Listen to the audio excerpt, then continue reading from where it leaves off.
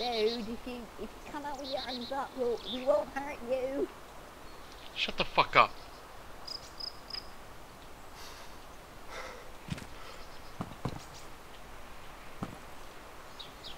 Why do you want to kill us?